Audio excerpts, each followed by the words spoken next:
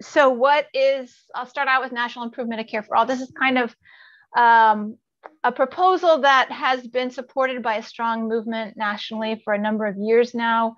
The first um, 21st century piece of legislation that had this was uh, 2003, uh, John Conyers HR 676, uh, which was a piece of legislation that was based on um, a proposal put together by physicians with the Physicians for National Health Program, a national organiza- health policy organization.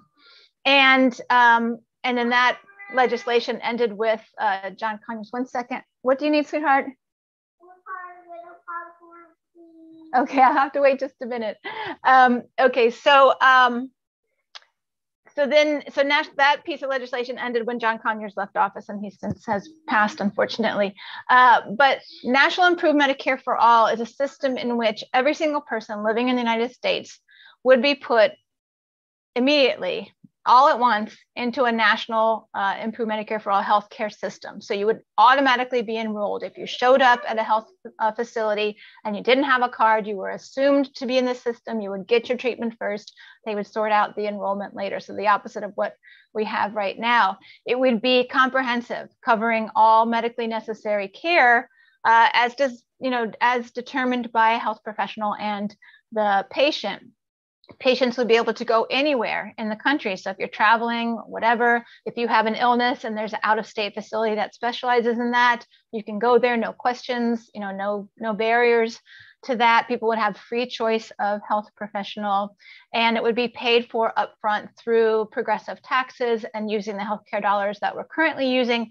And so there would be no copays, no deductibles, no financial barriers that would keep people from getting health. So that's kind of uh, the in a nutshell that it's it's national, it's nationwide, it's improved because current Medicare doesn't cover you know things like uh, hearing and vision and dental care and other things that are necessary. So it would be an expanded and improved Medicare type of system and for everyone. And that was thought to be the simplest thing is that we would keep all the providers the same, but everyone would, one would be in the system, the government would pay those providers. And in fact, as part of that, which is really important, is that um, the system would use a, a system of uh, paying for operating expenses. So every facility, I will as soon as I finish my talk. Okay, um, every every health facility would get a global operating budget that they could use, so you wouldn't have to worry about you know billing for every band aid and every alcohol wipe. You just focus on treating your population. You're getting the money to cover your facility, cover the supplies that you need, cover the people that work there each month. And then separately, if you needed to expand for some reason or purchase some technology, then that capital expense would be separated out um, so that there could be some control so that you wouldn't have one hospital getting a certain technology and then making a lot of money off of that. And then hospital, you know, down the road is like, well, gosh, we have to get one of those and that's a huge waste of money. If you already have one in the community you don't need to like have every hospital having the same technology. We would move towards what we call centers of excellence in fact